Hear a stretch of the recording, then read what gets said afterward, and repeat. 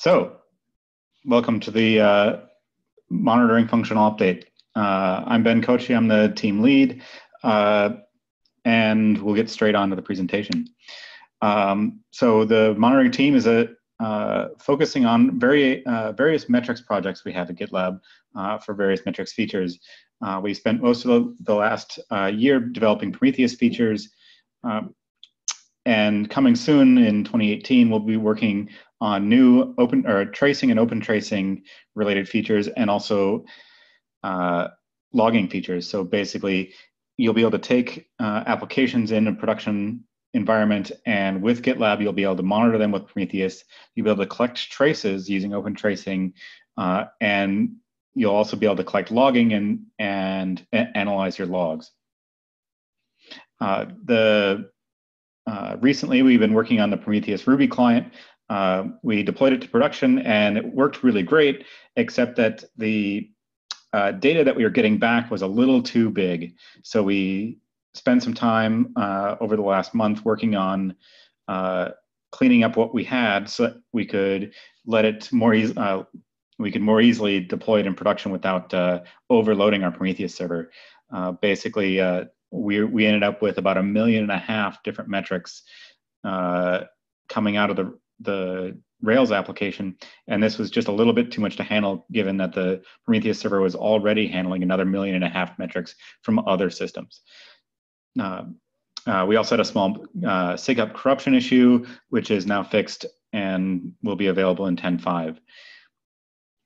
Uh, one of the nice things that we've been able to do with Prometheus is Prometheus allows you to take and vertically isolate uh, services. Um, basically, what you can do is we're going to be creating a separate Prometheus server just to collect the, uh, the, the, Ruby metrics from the main GitLab app.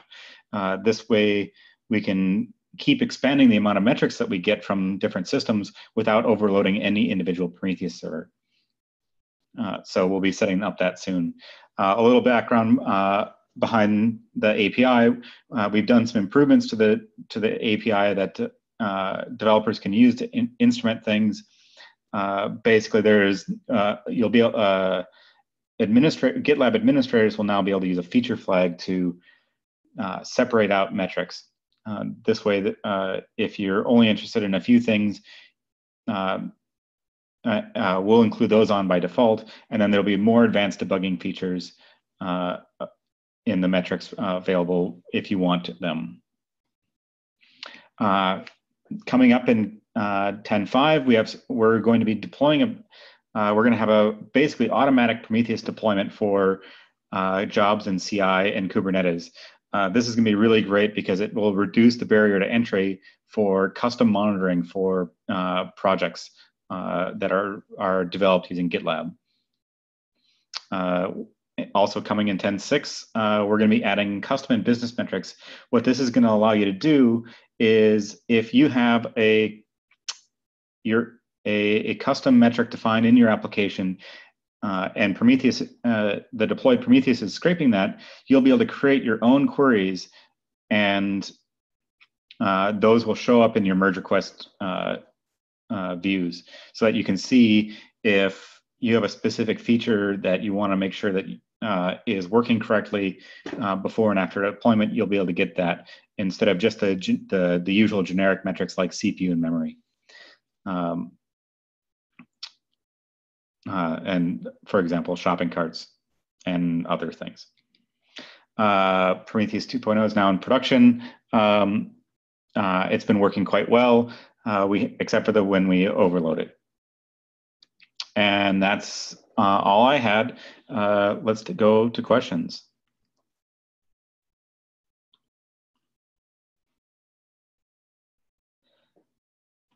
Yes, the team lead is the band lead. I'm uh, singing all about metrics and monitoring.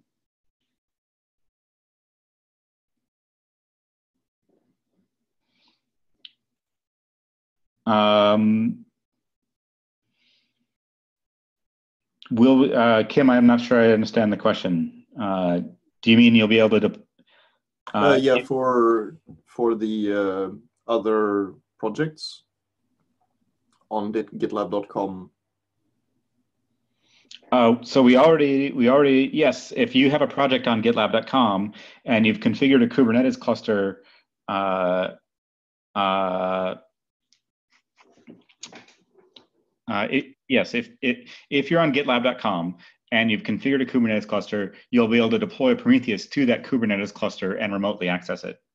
Uh, so that'll that'll just work, or at least it, it, it should it is intended to work.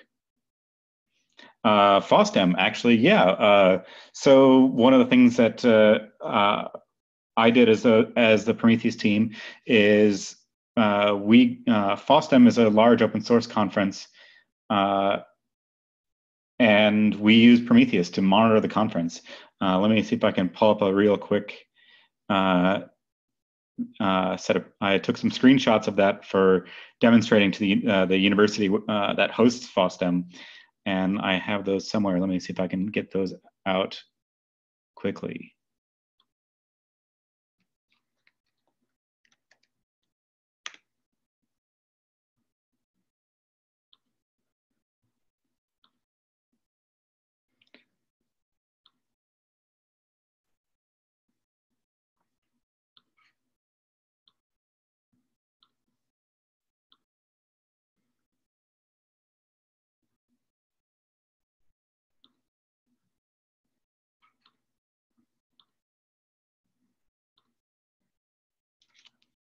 Why is Imgur so slow?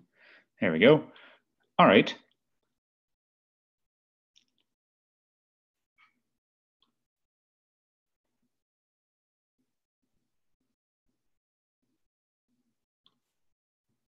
Let's screen share that.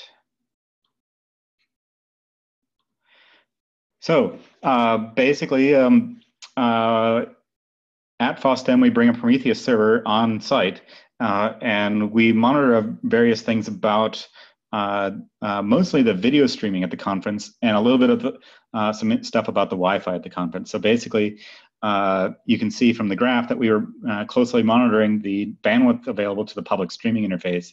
So if people are aware of FOSDEM is a large open source conference, there are 25 simultaneous streaming video streams of all the different rooms at the conference.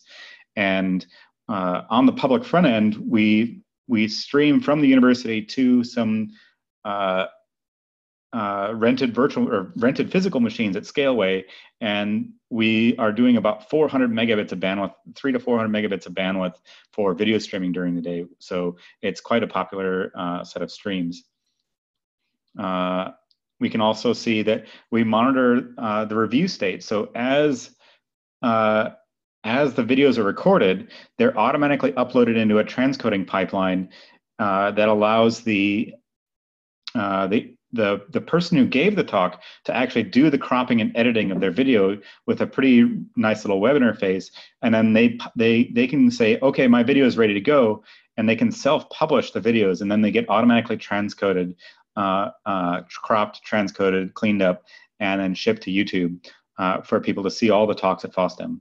Uh, so that's it's a really nice automated way to get these talks out quickly. So already, I think two thirds of the talks from FOSDEM are up on the web. Uh, uh, usually for a conference like uh, for a conference of this complication, it used to take months. So now it's all nice and automated. Um, we also we, uh, we also have some nice stats from the from the Wi-Fi. So you can see uh, on the left and the lower left, you can and and the lower right, a normal time during the day at the university, there's only a, a, uh, uh, about 1,500 people on the Wi-Fi, and then FOSDEM comes around, and we we just completely blow away all the Wi-Fi stats and have uh, many, many, many thousands of people on the Wi-Fi. Um, and you can see that we're uh, we also blow away all the bandwidth stats during during the normal uh, conference. Uh, and then I also have a nice little graph here, which shows uh, uh, the, the, the top used Wi-Fi APs. So you can see during different times of the uh, of the day, people are going to different talks, and see so you can kind of see which talks are most popular based on uh, the how many people are in different parts of the Wi-Fi. Uh, hopefully next year uh, I'm working to try and clean up some of this data so that we can actually try and get it down to by buildings. We can actually see the amount of people moving around uh, between different buildings. Uh, Toon, I hope that uh, uh, that solves your curiosity for FOSDEM monitoring. Any other questions?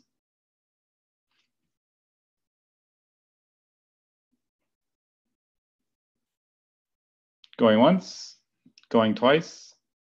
All right, thank you very much. See you in the team call.